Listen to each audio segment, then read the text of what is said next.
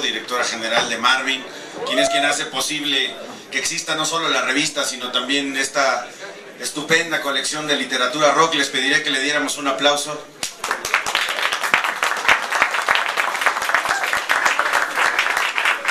Igualmente para mí es eh, un honor compartir el panel con gente tan importante de la escena del rock mexicano, además del cine que se está haciendo en Latinoamérica, como el caso de Diego.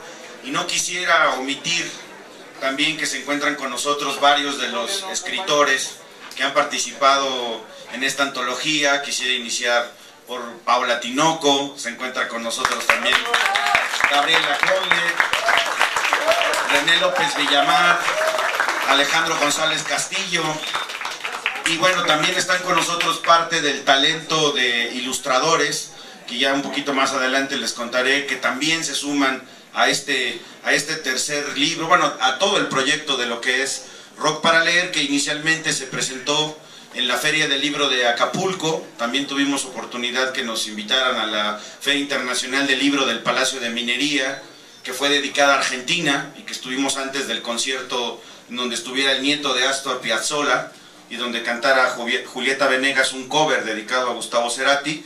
En fin, que no, no quisiera que se largara además eh, el evento, sí quisiera agradecer en especial a Sabo Romo que le insistimos, la verdad, para que pudiera compartir con nosotros esas anécdotas eh, que tiene con Gustavo Cerati, una figura de leyenda en el ámbito latinoamericano y Sabo forma parte de esta misma historia y de esta misma leyenda. Es un honor para nosotros tenerte el día de hoy, Sabo. Gracias.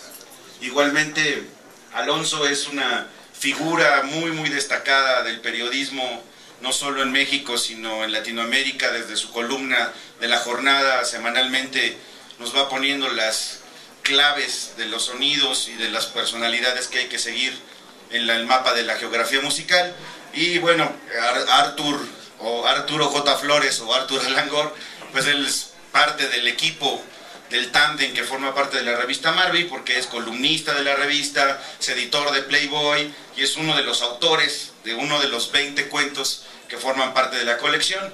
Y Diego siempre buscamos también que tuviera ese perfil de acercarnos un poquito a Latinoamérica. Diego es argentino, lleva tiempo residiendo en México y bueno, él se acercó desde su perspectiva de cineasta y con esta evocación un poco nostálgica a remontarse a su, a su infancia y recrear por ahí eh, algo que tuviera que ver con el pasado de, de Soda Stereo y de Gustavo Cerati.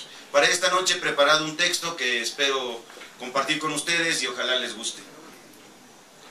Desolación total entre los amantes de la música hispanoamericana. La partida de Gustavo Cerati, nacido en 1959, rebasa una generación. Su huella permeó entre seguidores de distintas edades a las que une uno de los más grandes referentes del rock cantado en español. Es tiempo de las redes sociales. Las malas noticias corren casi en tiempo real. No recuerdo una sensación similar, excepto por los días en que asesinaron a John Lennon en 1980 y cuando encontraron el cadáver de, Kurt Cobain tras su suicidio en 1994.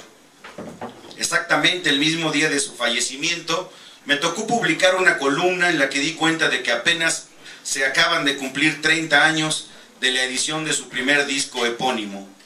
Hacía muy poco que regresaba de Buenos Aires, esa ciudad tan susceptible y a la que viajé con la consigna personal de rastrear la presencia de soda estéreo en el ambiente en general, y que al principio parecía que se trataba de una silueta tan difuminada que apenas era perceptible.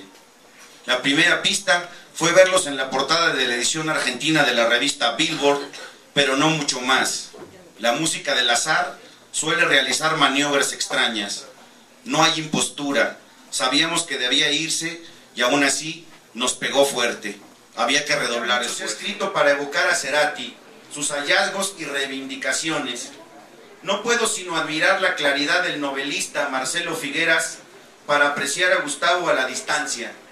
Los 80 aquella bocanada de aire después del ahogo de la dictadura, fueron una suerte de Big Bang para la cultura argentina, un estallido paradójico, a la vez inevitable y sorprendente, en cuya estela, por cierto, vivimos todavía. El rock fue parte esencial de aquel bombazo por no decir su dinamo, y dentro de esa magma, la música de Gustavo Cerati cumplió un rol especial, aquel del que irrumpe desconociendo las tradiciones del lugar para producir lo que el tiempo convertirá en una tradición nueva. La talla del músico no está a discusión. La calidad musical alcanzada fue y sigue siendo muy alta. De los pasajes de su vida privada no requerimos sino meras anécdotas nostálgicas. Cito una reciente entrevista de Radar, suplemento del diario Página 12, con el baterista Charlie Alberti, para insistir acerca de las pretensiones artísticas de Gustavo.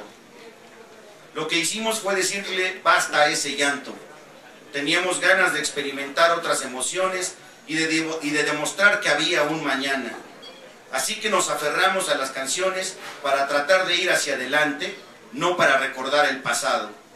Una vez más, el arte haciendo frente a la barbarie y la violencia. Nunca será suficiente. Gustavo Cerati fue un fantasista que nos hizo imaginar parajes eléctricos llenos de rock and roll y poesía espontánea. Supo imprimirle al rock latinoamericano un halo insólito de épica y magia. La capacidad de soñar e imaginar a través de la música no se debe perder nunca. Ahora, un puñado de escritores e ilustradores tratamos de reinventar esa herencia. Larga vida, Gustavo. Con este libro intentamos convertir a la pesadumbre en una reverberación de tu guitarra que se escuche por siempre. Nos esperarás en tu ciudad de la furia y cuando estemos allá, tu música para volar seguirá sonando por siempre. Muchas gracias.